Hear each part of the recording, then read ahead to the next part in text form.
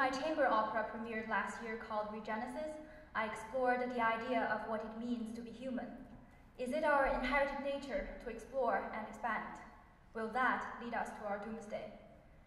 Is the journey back to Earth of my heroine in the opera going to resolve the dangers and threats faced by her people that are caused by environmental crisis and the downfall of the future? Today, in the Regenesis Overture, I wish every listener to take on their own journey, to see the barbarous atmosphere of the abandoned Earth, to listen to the retro bird calls, to face the calamitous moments. Love and joy may find their way back into our senses, but will the tranquility and beauty of the earth ever return? Can we conquer the ultimate danger, or do we fight and find a balance and live with it?